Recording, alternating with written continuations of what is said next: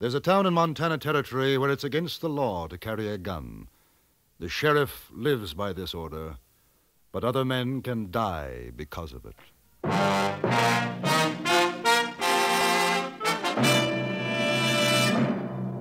Frontier Gentlemen.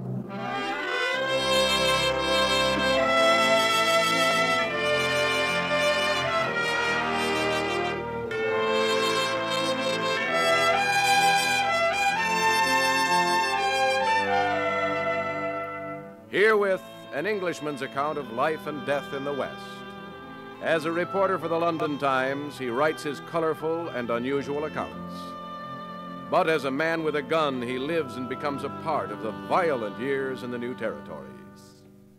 Now, starring John Dehner, this is the story of J.B. Kendall, Frontier Gentleman.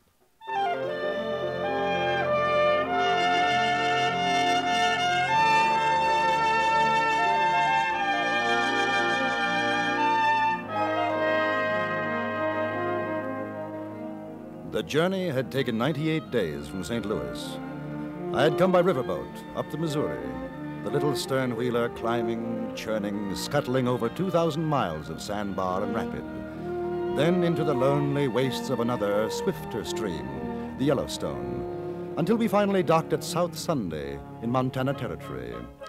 My ticket had cost $300, which left me about 50 in my pocket, and the slim hope that there would be a letter at the express office with my remittance from England.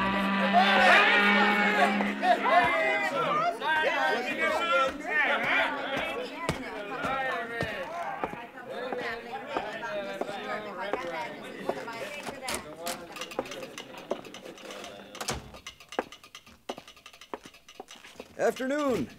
Just in off the boat? Right. I wonder if there's a letter for me, J.B. Kendall. Kendall, uh, any trouble on the way up? I hear the Sioux been kicking up their heels. Sitting Bull's making big medicine again. Don't sound good. We didn't see any. Kendall, Kendall, you English, ain't you? yes. I figured by your talk.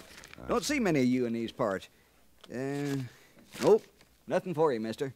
You're sure? It's rather important from, from England? Nope, nothing. Maybe tomorrow on the overland, though. They say, you planning to stay a while? I think so. Better get and register then. Register? Over to Sheriff Clanton's office. There's a notice on the wall, maybe missed your attention. All strangers to South Sunday will, within one hour of arrival, register at the office of the sheriff or be prosecuted. That's Clanton's orders. Surprised you missed the signs, they're all over. Uh, thank you. Well, that's all right. Wouldn't want to see you in trouble. This ain't the healthiest town in the territory, not for strangers. Oh, uh, any particular reason? What? Oh, excuse me. Afternoon, Mr. Farley. This here's Mr. Kendall, just off the boat. I, I was telling him about registering. Now, that's a good idea. Dick Farley is one of the sheriff's deputies. Helps keep South Sunday law abiding. Big job. in What's these your times, business, yes, sir, a Mr. big Kendall? job. Oh, you might call me a jack of all trades. I might. I do a little writing for a Lon- London newspaper, you know, an Englishman's view of the Wild West, that sort of thing. Hmm. We don't take to strangers. Oh, really? Shame. I've been looking forward to my visit. Yeah, well, now you've seen it. You know what it's like, so supposing you get yourself back on that boat and try up the line to Rosebud or Junction City, huh? I don't think so. Now, if you'll pardon me, I'll register at your office. You carrying a gun? No. Put your hands up. Over your head. Higher. Now, you hold it just like that. Just so. All right. That's your baggage? Yes. Pick it up. I beg your pardon. I said pick it up. Oh. All right, come on.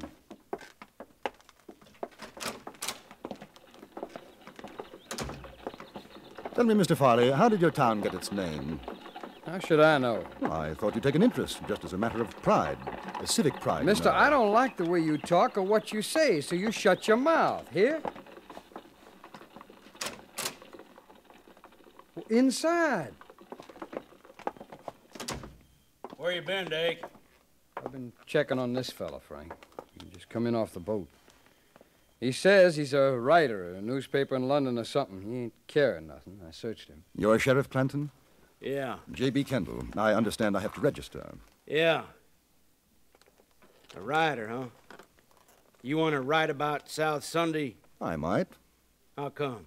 As a matter of fact, the name intrigued me. You kidding? No, not at all. I write about the West, and you're in the heart of it.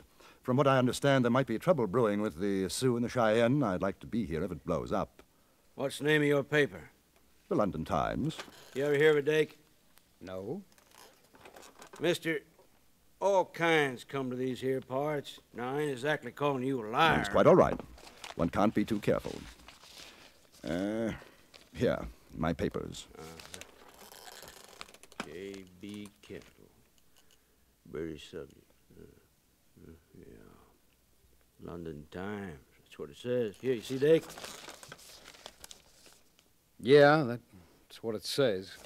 Any other strangers get off the boat with him? No, just him. Well, you sound all right to me, Mr. Kendall. Now, just you remember, I got a set of rules here. You live by 'em while you're here. You'll get along. That seems fair enough. No man, except them authorized by me, carries a gun in South Sunday. That way we don't get a bunch of crazy, liquored up miners and the like shooting up the place. It seems the usual thing for a man to be armed in most places. It ain't usual here. It's again the law. Oh, I see. You got yourself fixed up at the hotel? No, not yet. Well, and you go on over to the Empire, Mr. Kendall. You tell them Frank Clanton sent you. They'll take care of you. And very good of you. Dake, uh, take a look at his baggage. Right. Well, you're, you're going to search my luggage? That's right, mister. There are no guns in South Sunday, not worn or hidden. That's a law. I haven't got one. I sure am glad to hear it. I like a peaceable man. Yes, sir. A fella like you might think of settling down here in South Sunday. It's the quietest little town in Montana Territory. It's an opportunity for a man. Well, I'll keep it in mind, Mr. Clanton. There ain't nothing in his bags. Well, now, Mr. Kendall, you enjoy your stay here. Anything you want, you just ask me. And uh, I'd appreciate it, sir, if you put my name in your paper. Whatever you want to say is okay with me. My hotel room was a palace in comparison to the cabin on the riverboat. After cleaning up, I went downstairs to the saloon bar in the hotel, ordered a drink before dinner. The place was practically empty, but I wasn't alone for long. Hi. You're the English fella, aren't you? Kendall? Yes, that's right. I'm Lila. I work here. Frank Clanton said be nice to you. I'm being nice. You want to buy me a drink? It's on Frank. Oh, I'm delighted, delighted. Uh, bartender. Champagne, Harry. Yeah. Um, Frank says it's not ladylike to drink whiskey. Hey, what'd you do to that man? I never seen him like this. he thinks I'm going to write about him for my paper. Are you? More than likely. You gonna write about me, too? if you want me to. I'm Dake Farley's girl. Dake doesn't like you. He got mad when Frank said to be nice to you. Does everybody in South Sunday do what Clanton tells them to do? Sure. Why? Here's a drink. Ah. Well, good luck. Ah. Look here, Lila. What about Clanton? You seem like a nice fella. Don't ask questions. Well, what about you then? Me? What do you care? Where are you from? I was born in Ohio, got married, and came out west. Five years back, my husband got killed in a gunfight. I don't know. I kind of drifted around, ended up here, one place as good as the next. Is it? Yeah, I guess. What about you? Your home's in England, huh? It was. You one of them lords or dukes or something? no, not exactly. Married? No, no, no. Must be interesting traveling around, seeing new things. Oh, it has its advantages. But I suppose you'll be glad to get back home. Well, let's just say that one place is as good as the next, Oh, you can't go back, huh? Trouble? in a way. Ah, look, your friend's just come in, Mr. Farley. Listen, you be careful with him. Dake can get awful mean. Well, doesn't he take orders from Clanton, too? Don't talk smart like that to him. It riles him. Ah, Mr. Farley, good evening. Would you join us? No. I just come to say, don't you get no ideas about Lila. Now, what ideas do you think I'd have? I'm telling you, You're telling me what? keep your hands off my girl, you understand? My dear fellow, I haven't touched your girl. The thought never entered my mind. We were just having that drink, Dake, like Clanton Lila, said. you That's keep out of this. Do you know that I find your manner toward this young lady rather offensive? Well, Oh, you're just asking for trouble, aren't you? Not at all. Now, you think you can come in here with your fancy talk, your fancy ways, and make a fool out of me. Now, maybe Frank's a sucker, but not me. I don't like you. I don't trust you one bit. Mr. Farley, it couldn't be of less consequence. What do you think of me? He'll kill you, You just shut like he up. Oh, that I don't stand for. Chum.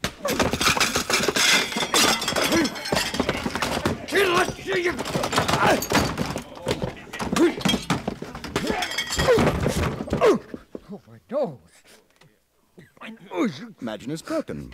Now, if you don't mind, I'll relieve you of these. A chap of your disposition has no right running around with even one gun, let alone two. Hand up? You should have killed him. What on earth for? Listen, there's two more besides Dake and Clanton. They'll get you.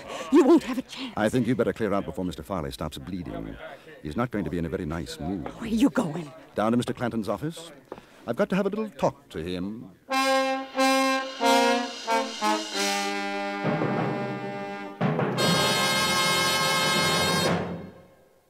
In a moment, we'll return to Frontier Gentlemen. Who gets the last word? It all depends on who's playing CBS Radio's fascinating game Tuesday evening with Dr. Bergen Evans. A regular panel member is the witty and erudite John Mason Brown. Other guests vary from week to week. This Tuesday, they'll be Garry Moore and Lael Wertenbaker. These bright people take off from language questions sent in by listeners and cover all sorts of fascinating ground before one or another of them ultimately gives you the last word on the question. Get the last word this Tuesday when it comes to you over most of these same stations. And now we return you to Anthony Ellis's production of Frontier Gentlemen.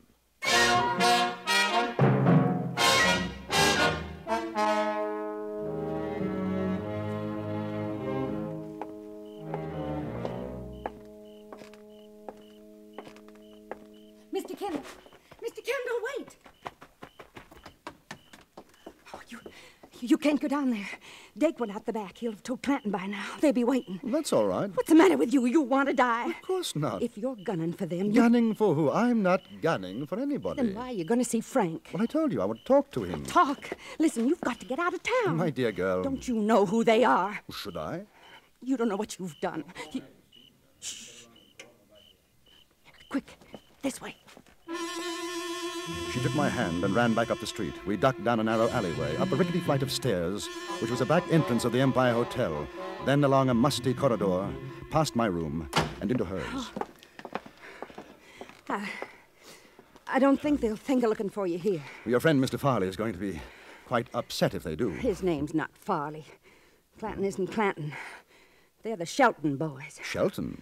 The New Mexico Shelton boys? There's four of them. Brothers. What are they doing in South Sunday? Hiding out from Billy the Kid. Dake killed one of Billy's men. Billy swore to get them all for it. That's why Frank won't let anybody carry a gun. How do you know all this? It was my husband Dake killed. Harry joined up with Billy for excitement, I guess. One time he was gone out of town three months. I was lonesome. I met Dake. When Harry came back, they had a fight over me. Dake outdrew him. We ran away together. And you thought I'd come after them, that Billy had sent me? They'll think it too now. Lila, who made Frank sheriff here? Nobody. There wasn't one when we came. He just took over. Funny thing is, I guess he's a pretty good sheriff. He's quit the old ways and likes it here. Why have you told me all this? I don't know. You talked with me like I was a lady. Indian treats his squaw better than Dake treats me. Maybe I wanted to see you finish him. And it's not going to be very pleasant for you anymore. Pleasant. Oh, mister, you got a funny way of saying things. Lila, is there anywhere you could go? Friends? In South Sunday? Now, what about home? I mean, Ohio. Home. Know what it'd cost to get there? I got no money. But if you could, If I could. I had nice folks. I don't even know if they're alive or dead. But I'd sure like to take a chance and find out. well, Lila, we'll see what we can do. Where are you going now? I had that talk with Frank. Uh, do you know how to use a gun? Yes? Well, take this one. Now, lock yourself in after I've gone. You keep it. Huh? I've got a derringer. Oh, all right. Uh, here, in, in case I have any trouble, it's only $50. I don't want your money. Well, at least you'll be able to get out of town. Now, take it. Watch yourself, will you?